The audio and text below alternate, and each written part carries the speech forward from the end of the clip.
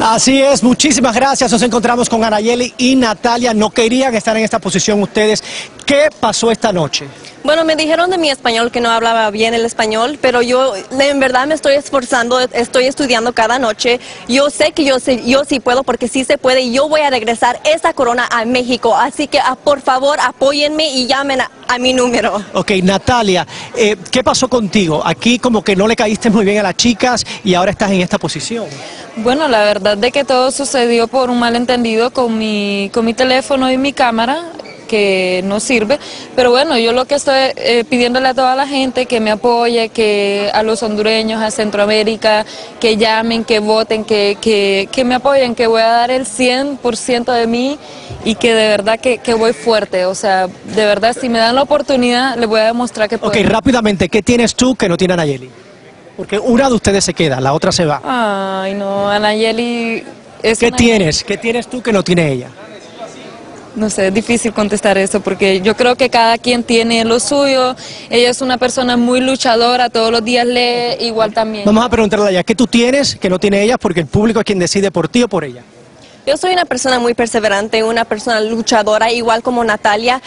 Yo en verdad he soñado de esto por mucho tiempo y yo sé, yo sé que sí se puede, por favor, voten por mí. Bueno, recuerdo que ustedes en casa son quienes tienen la última palabra, pero ahora vamos a regresar con ustedes en Sal y Pimienta. Adelante en los estudios, chicos. Muchas gracias, Roger. Yo pienso que esto que está sucediendo ahora es muy interesante porque es la primera vez que el público tiene la decisión absolutamente en sus manos, pero es una decisión, Lourdes, que yo creo que lleva un poco, quizás un peso emocional, porque creo yo que Natalia en este caso está en un poquito de desventaja porque Nayeli tiene pues los fanáticos que dejó su hermana regado Exacto. en esa cantidad de años que estuvo cuando estuvo en la belleza latina.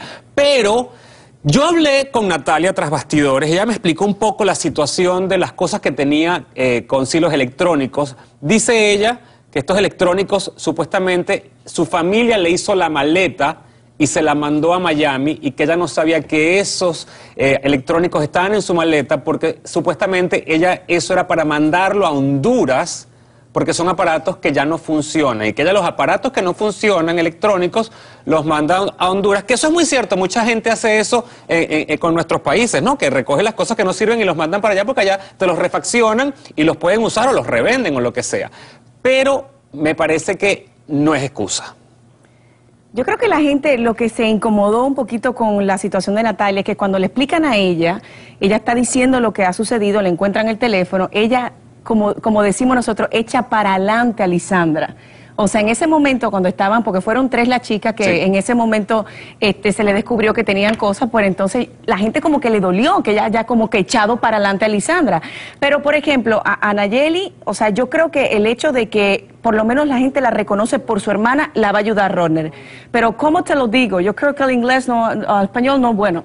No, es Entonces, un problema grave. Ese va a ser ella. un gran problema para ella, porque, de nuevo, hay retos de comunicación, hay retos que necesitamos escucharla a ella, y si ella no se sabe comunicar, yo creo que esa va a ser su gran desventaja. Pero, al fin y al cabo, el público, ustedes son los que tienen la decisión, y solo una de ellas va a poder continuar en esta competencia.